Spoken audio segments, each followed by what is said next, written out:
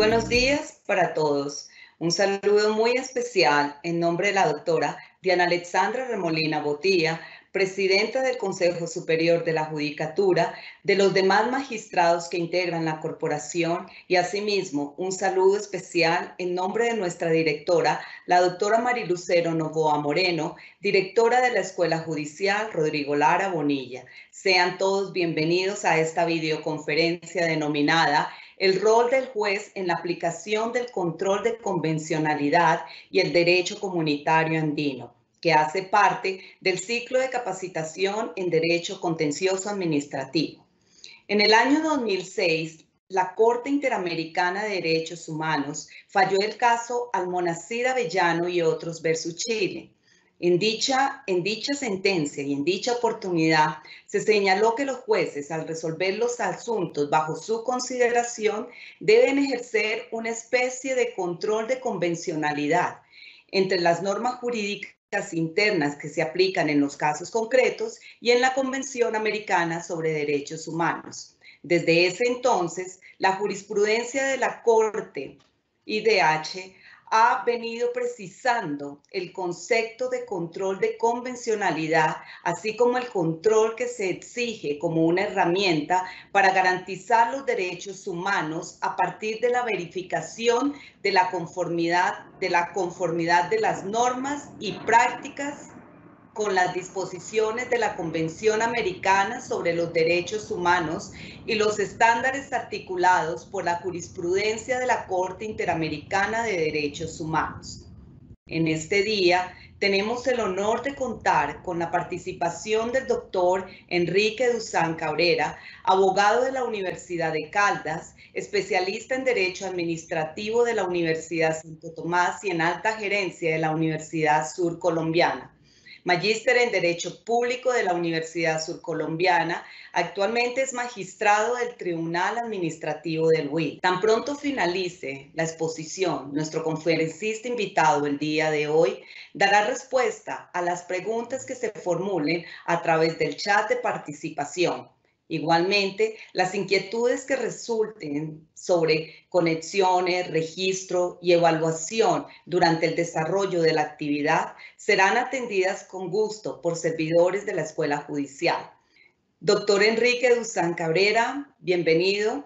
Es un gusto tenerlo con nosotros. Tiene el uso de la palabra. Muy buenos días. Muchas gracias, doctora Mónica. Un saludo especial a la doctora Marilucero Novoa, directora de la Escuela Judicial Rodrigo Lara Bonilla. Un saludo especial también a la doctora Diana Alexandra Remolina Botía, presidenta del Consejo Superior de la Judicatura y a todos sus magistrados. Un saludo especial a todos nuestros colegas, servidores judiciales, servidoras y demás personas que se han vinculado a esta videoconferencia desde Neiva, la hermosa novia del sol, les doy un caluroso saludo y quiero compartir con ustedes una sensibilización sobre la temática de la aplicación o del control de convencionalidad en Colombia y especialmente eh, de la aplicación del derecho andino que nos compete a los jueces en nuestra jurisdicción y en todas las jurisdicciones. Permítanme compartir con ustedes algunas diapositivas que nos eh, ayudan a manejar la temática. El, el, eje central, pues como, como lo dice su título, es qué rol tiene el juez colombiano en la aplicación del control de convencionalidad y del derecho comunitario. El juez colombiano, lo que manejo en esta conferencia es que ha sido regularmente el juez de la legalidad. Desde la constitución política del 91, el juez de la constitucionalidad. Pero también es actualmente juez del control de convencionalidad y juez de la comunidad andina. Uno de los sueños de Bolívar era que toda la América eh, Latina o española fuese una sola nación. Palabras más, palabras menos, indicó si lo realizaron los fundadores de la Declaración de Independencia de los Estados Unidos de Norteamérica, al unir los estados en una gran nación y un gobierno central, esta franja poblacional y territorial puede lograrlo también. Por eso en 1826 se pretendió realizar el famoso Congreso Anfictiónico de Panamá y Tratado de Unión, Liga y Confederación Perpetua. Qué gran anhelo. Tratado de Unión, Liga y Confederación Perpetua de todo esto que conocemos como América Latina. En Colombia, el pueblo de Colombia, en la constitución política de 1991, lo asumió como un compromiso político jurídico de integrarse. Y así en el preámbulo, pues indica el gran anhelo de integración para formar la comunidad latinoamericana. En el artículo noveno lo reitera como propósito de la política exterior colombiana, la de integrar a Latinoamérica y del Caribe. Lógicamente, en el artículo 93 hace darle prevalencia a todos los tratados y convenios internacionales de derecho humano que haya ratificado Colombia. En el artículo 96, numeral segundo, indica que pueden ser colombianos por adopción los latinoamericanos y del Caribe. Qué cosa trascendente. Del artículo 150, numeral 16, autoriza que se pueda transferir parcialmente atribuciones a organismos internacionales cuyo objeto sea la integración económica. Fíjense bien, cuyo objeto sea la integración económica, pero no es exclusivamente eso. En el artículo 226 establece la promoción, la internacionalización de, de las relaciones políticas, económicas, sociales y ecológicas. Es decir, que Colombia tiene el propósito de tener relaciones políticas, económicas, sociales y ecológicas, y especialmente con los, con los países latinoamericanos y del Caribe, integrarse.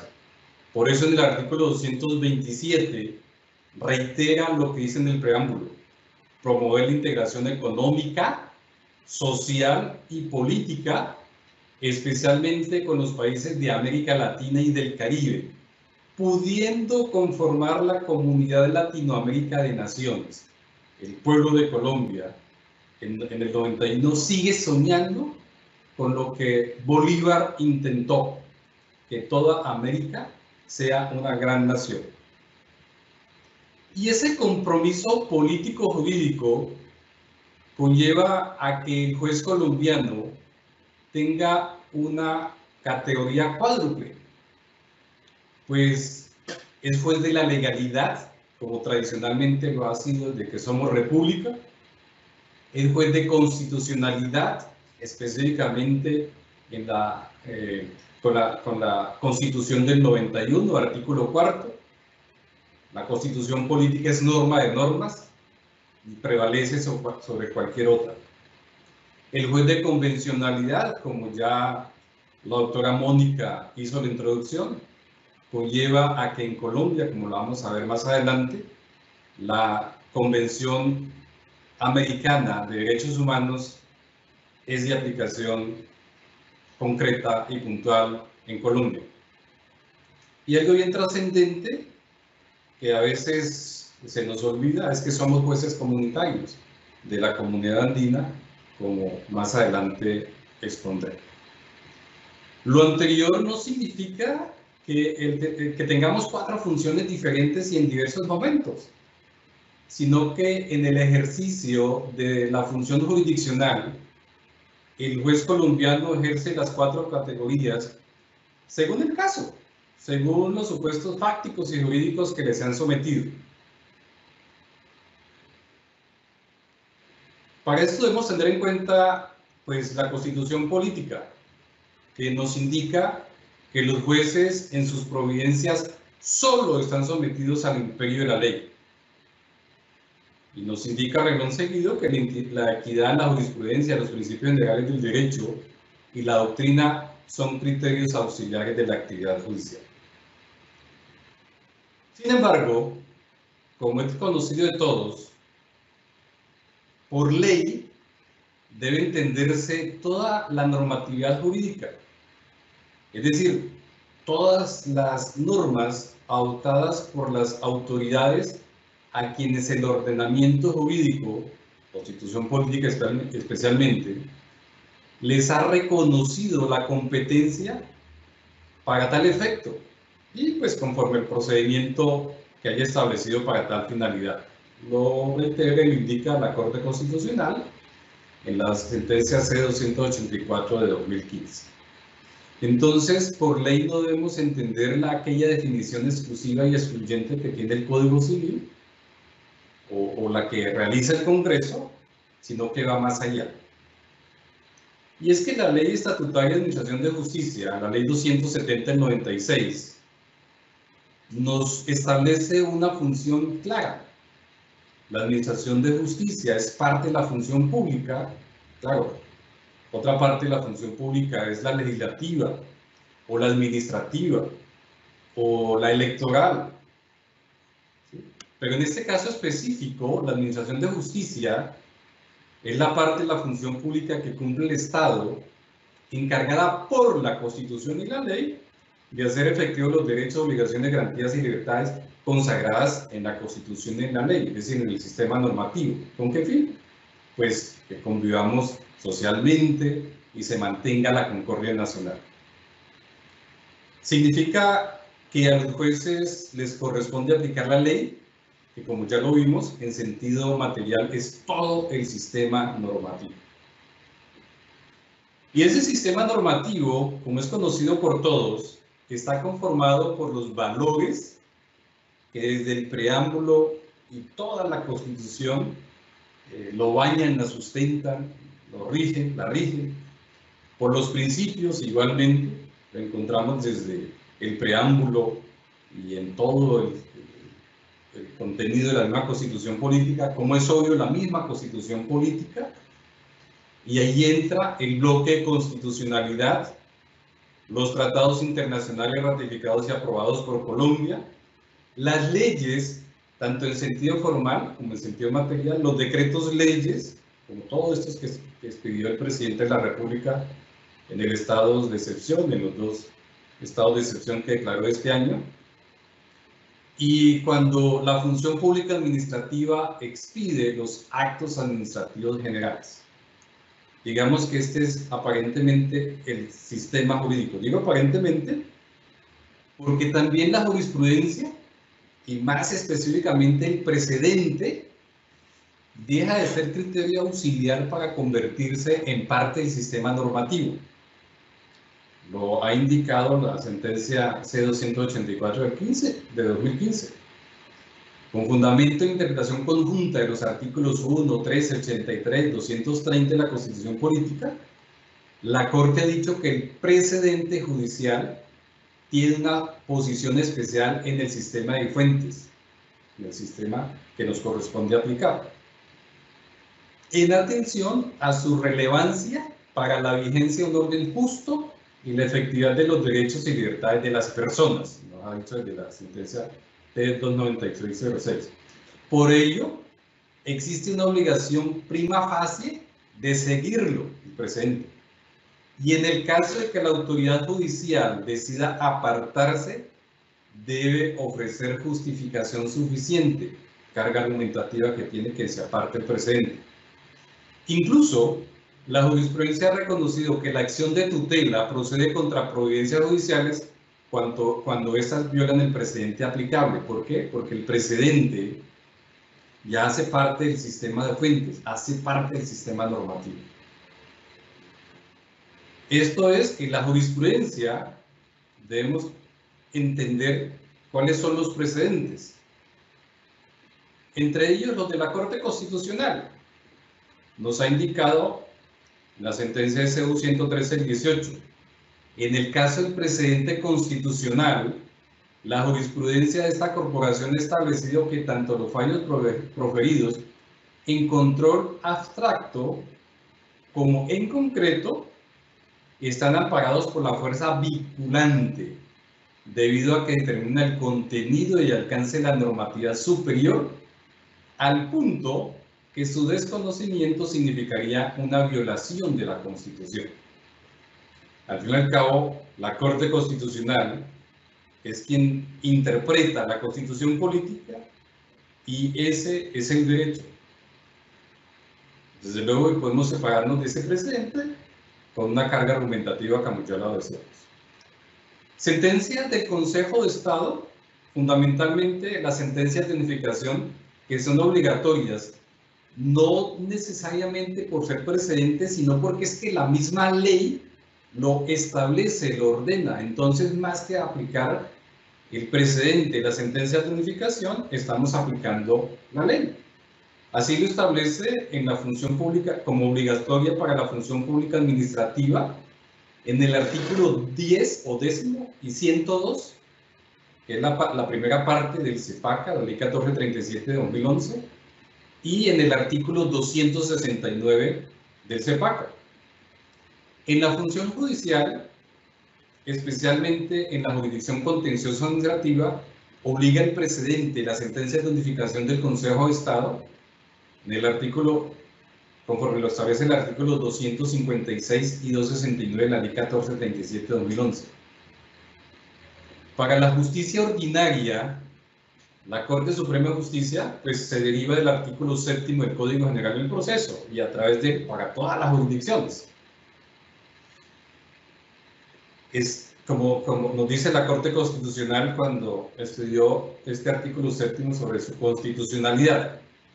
Como bien lo ha sostenido la Corte, la fuerza normativa de la doctrina dictada por la Corte Suprema, el Consejo de Estado, el Consejo Superior de la Judicatura, sala disciplinaria, que ya desapareció, y la Corte Constitucional, como órganos de cierre o jurisdicciones, proviene fundamentalmente, uno, de la obligación de los jueces de aplicar la igualdad frente a la ley y de, brindar igualdad de trato en cuanto a autoridades que son. Aplicación del principio de igualdad. Dos, de la potestad otorgada constitucionalmente a las corporaciones como órganos de cierre en sus respectivas jurisdicciones y el cometido de unificación jurisprudencial en el ámbito correspondiente de actuación. Tres, del principio de la buena fe, entendida como confianza legítima en la conducta de las autoridades del Estado. Si ya actuó de esa forma, es posible que buen día actúa, debería actuar de esta misma forma.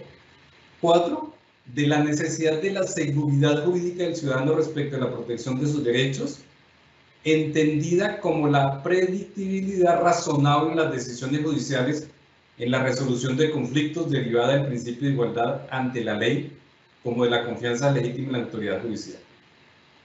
Esto lo dijo también en la sentencia 621 de 2015. Eso conlleva a que en consecuencia el Estado colombiano, conforme lo establece el artículo segundo de la Constitución Política, tiene un compromiso de garantizar la efectividad de los principios, derechos y deberes y a su vez, como lo establece el artículo 365, de asegurar la prestación eficiente de los servicios públicos a todos los habitantes del territorio nacional. Recordemos que los servicios públicos son inherentes a la finalidad social del Estado. Y al ser inherentes significa que el Estado debe garantizar que su prestación sea eficiente. Esto a su vez conlleva a que todos los servidores públicos que se denominan autoridades públicas les corresponde proteger a todas las personas residentes en Colombia en sus derechos y libertades, asegurar el cumplimiento de los deberes sociales del Estado y de los particulares. En consecuencia, los jueces como autoridades les, les corresponde cumplir con esos cometidos estatales pero controlan a su vez esos compromisos del Estado. ¿Cómo? pues ejerciendo el control de constitucionalidad, de verbigracia cuando la Corte Constitucional hace control automático de actos legislativos, como lo vimos con muchas oportunidades, con las reformas constitucionales que ha hecho el Congreso, cuando aprueba los tratados internacionales, con la, cuando hace control automático declaratorio de estados de excepción, como lo vimos este año, adicionalmente a través de la, excepción, de la acción de inexequibilidad de las leyes.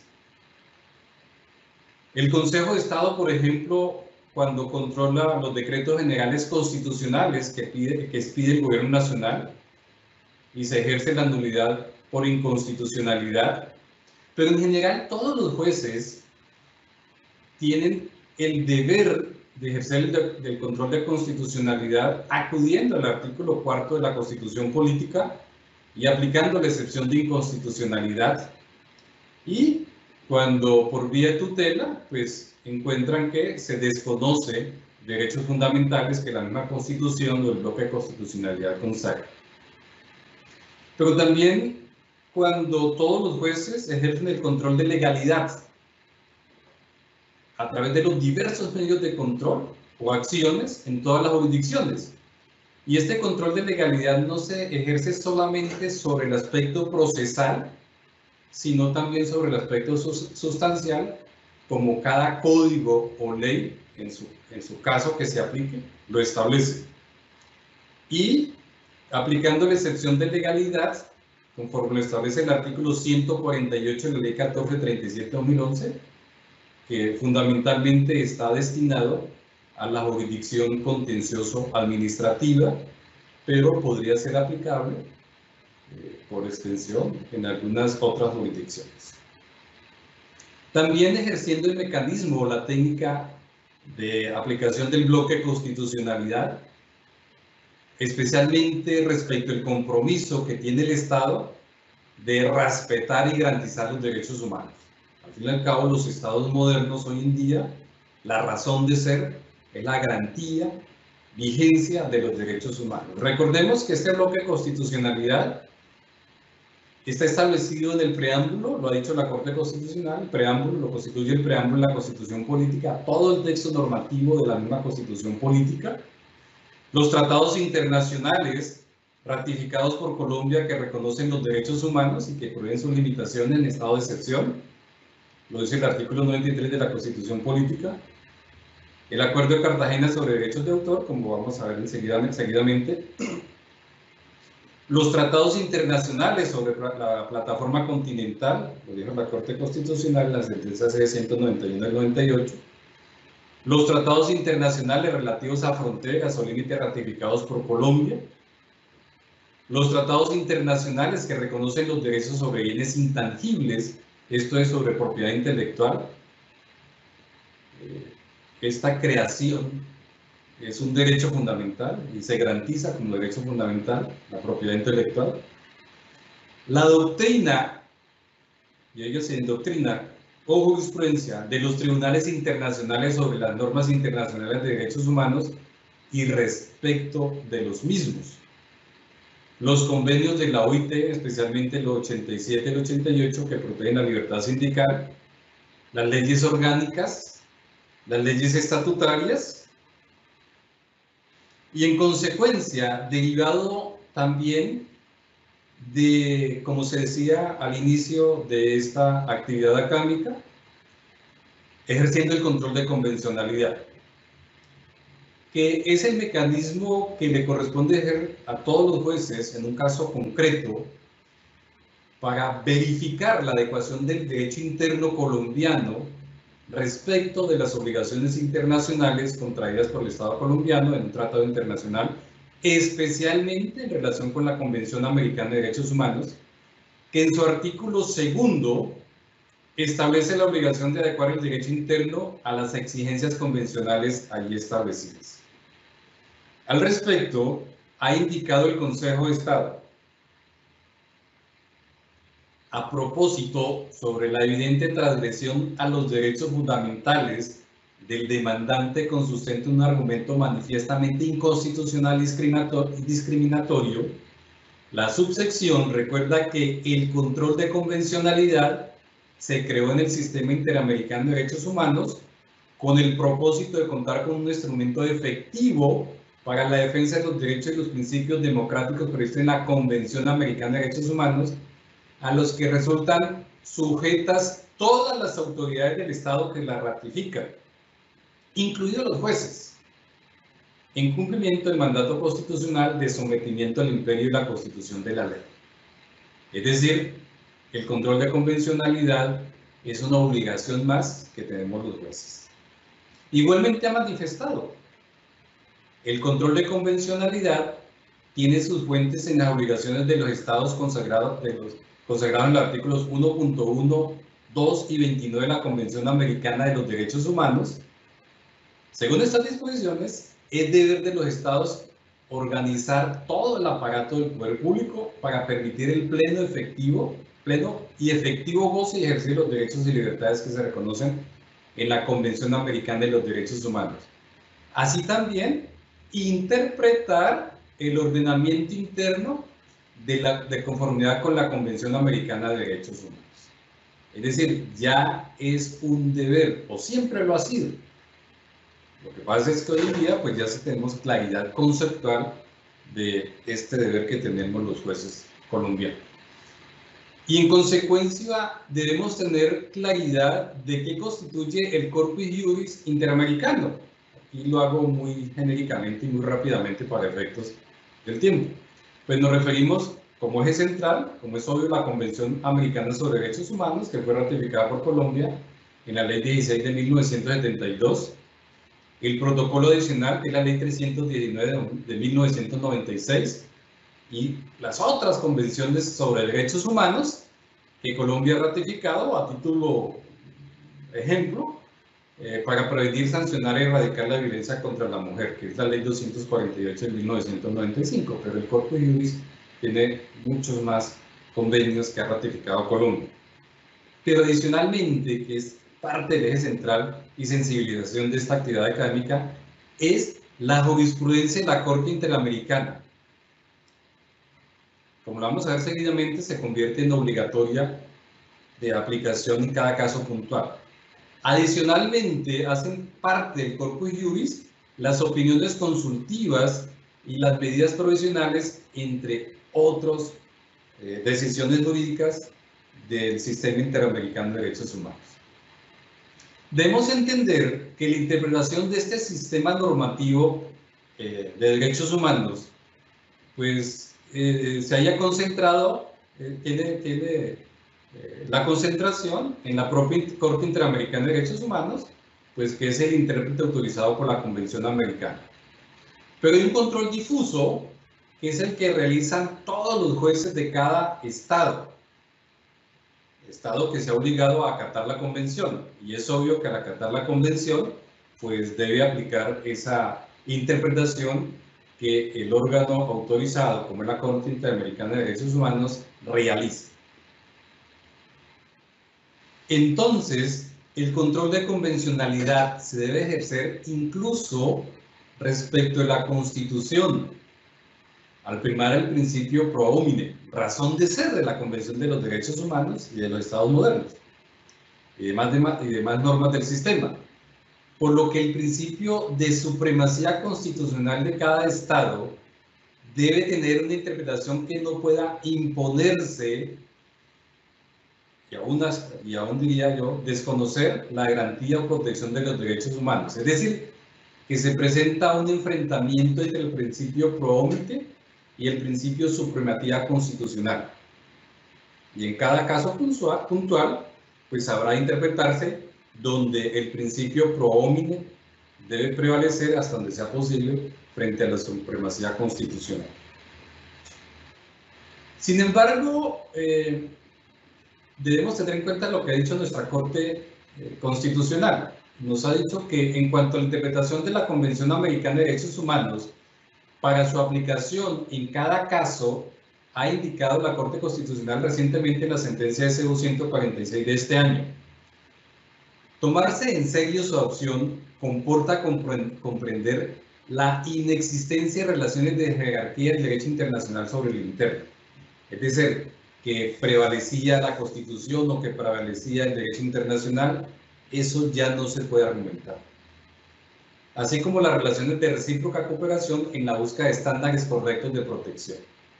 Y algo muy importante, es que la Convención Americana, como toda carta de derechos, no está redactada en términos de reglas unívocas, sino que contiene amplias referencias a principios que, para su concreción, requieren ejercicios de interpretación que, en últimas, son los que permiten decantar las posiciones de derechos que son exigibles.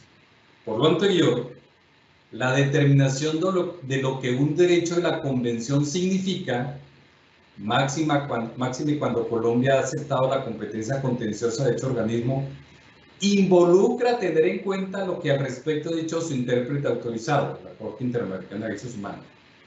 Se insiste, esto es bien importante, no para acogerlo de manera irreflexiva, es decir, que en cada caso puntual tengo que tener en, cuenta lo que ha dicho la Corte Interamericana de Derechos Humanos y pues reflexionar sobre esa interpretación para el caso bien puntual.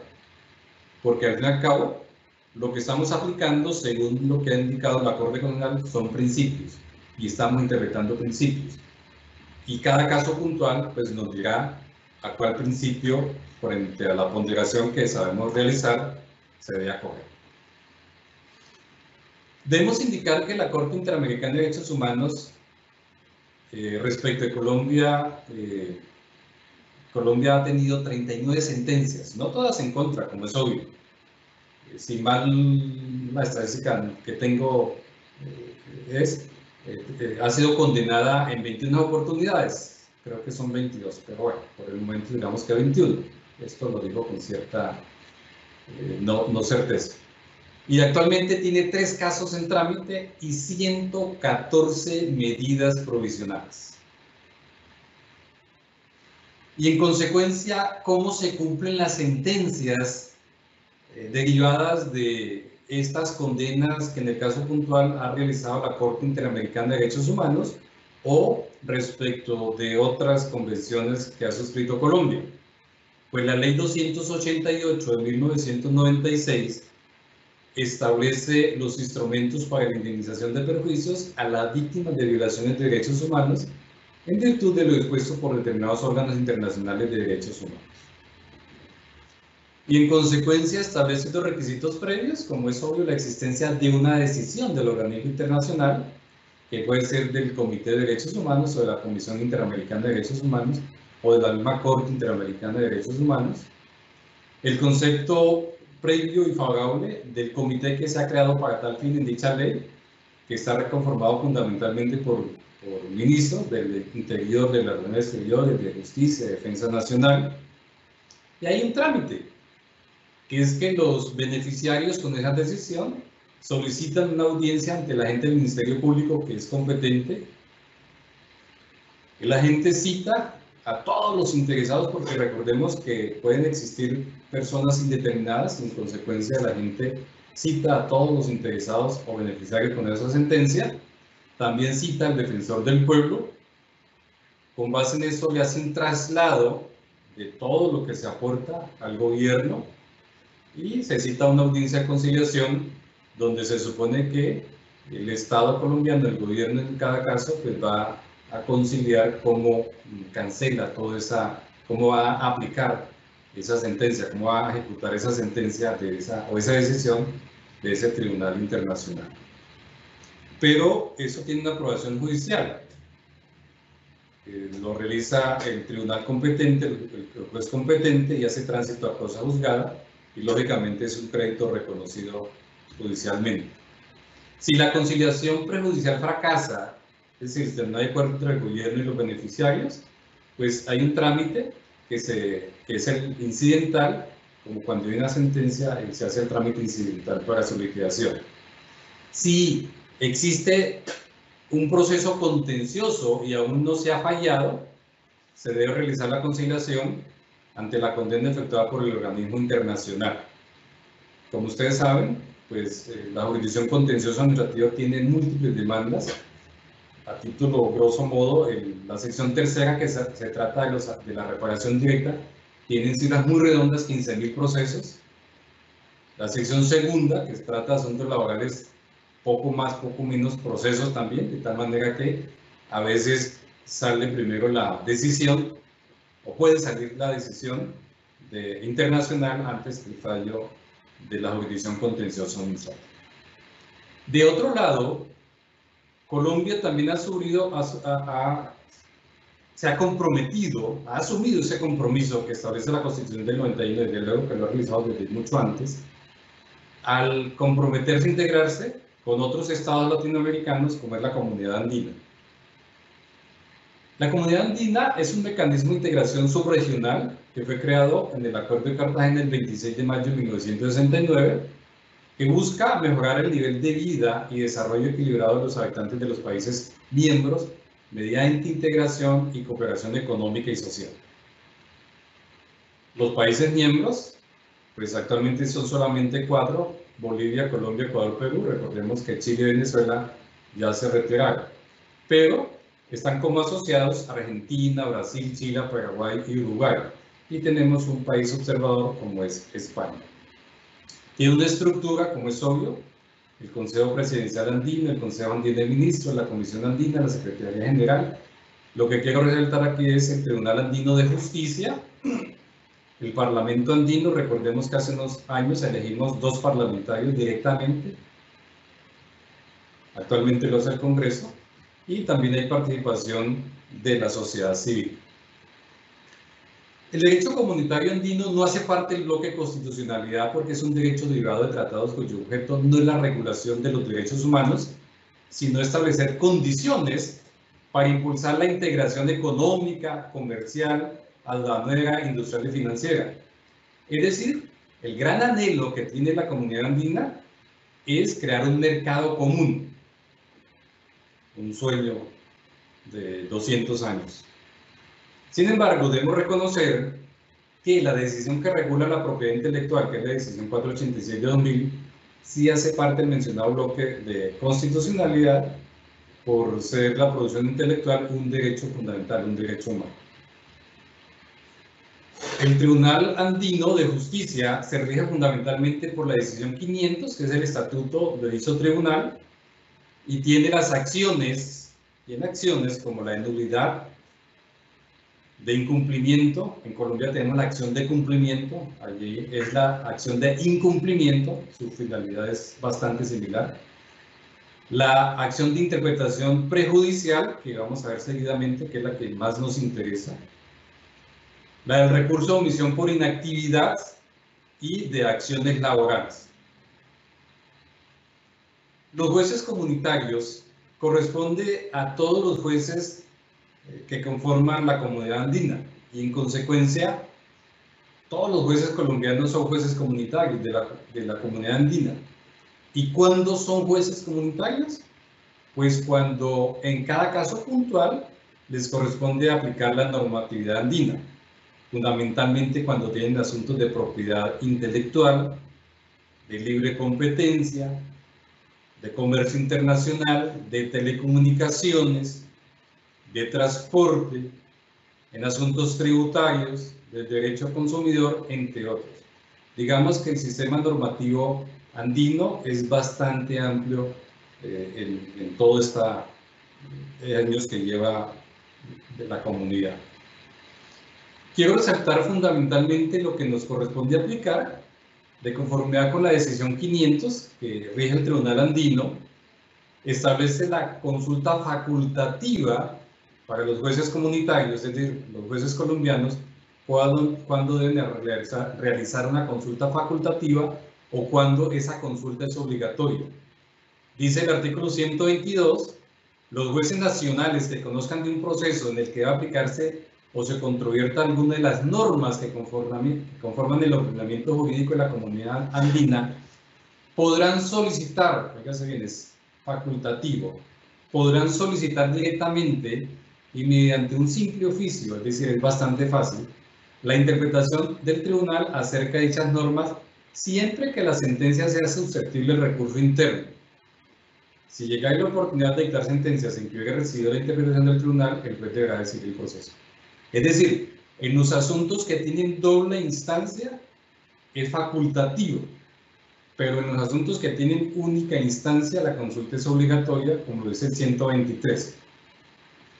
De oficio o a petición de parte, el juez nacional que conozca de un proceso en el cual la sentencia fuera de única o última instancia, que no fuere susceptible de recursos en derecho interno, en el que deba aplicarse o controvertir alguna de las normas que conforman el ordenamiento jurídico de la comunidad andina, deberá suspender el procedimiento y solicitar directamente mediante simple oficio la interpretación del tribunal. Es decir, siempre que haya que aplicar una norma andina, hay que suspender el proceso, hacer la consulta al tribunal andino y una vez se resuelva, se puede definir. Desconocer ese trámite es violar el debido proceso. Eh, lo, recuerdan el famoso caso del tribunal sobre el caso de, la ETV en Bogotá, pues no aplicó eh, esta norma andina y en consecuencia por vía de tutela se, se ordenó rehacerse nuevamente. El Consejo de Estado, en la sección primera, como trata de asuntos, en los asuntos que tienen que ver con eh, materia de propiedad intelectual, siempre realiza esta consulta, porque como es de única instancia el asunto, el Consejo de Estado siempre lo revisa. Cuando sea de doble instancia, pues puede ser facultativo, pero cuando es de única instancia es obligatorio. Aquí es la plena manifestación que somos jueces comunitarios.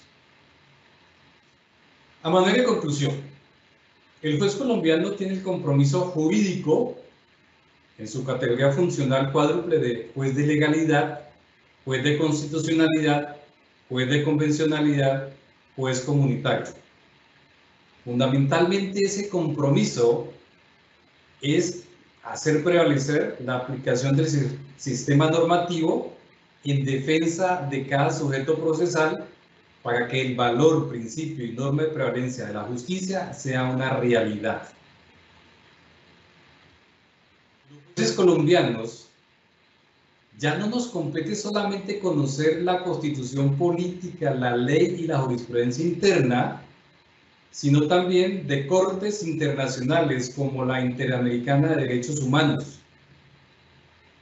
ejerciendo el control de convencionalidad. Cuando desconocemos esa aplicación de lo que ha indicado la Corte Interamericana de Derechos Humanos, pues pueden, eh, la vía de tutela puede conllevar al desconocimiento del precedente judicial. Lo mismo sucede con el sistema jurídico del Tribunal Andino de Justicia, pues si hay normas andinas que aplicar en los casos genéricos que hemos visto. Muy bien, muchas gracias. Le agradezco la atención y eh, le doy el uso de la palabra seguidamente a la doctora Mónica Cuellar para que si hay preguntas eh, que deban realizarse, pues las trataremos de resolver. Muchísimas gracias, doctor. Gracias. Y vamos al fragmento de preguntas. La primera, doctor. Los jueces colombianos deben darle prelación a la interpretación de convención americana que a la de altas cortes. Eh, en ese sentido, lo que decíamos es que no se puede desconocer ese precedente de la Corte Interamericana de Derechos Humanos. Pero en cada caso puntual, como lo dijo la Corte Constitucional, eh, hay que hacer una reflexión y ponderar esa interpretación porque al fin y al cabo eh, la Convención Americana de Derechos Humanos contiene son principios en términos genéricos y lógicamente hay que aplicarlo a cada caso concreto. Entonces, no significa que debemos desconocer el derecho interno o lo que ha indicado la Corte eh, Suprema de Justicia, Corte Constitucional, Consejo de Estado. Eh, en cada caso, pues hay que hacer una ponderación de interpretación.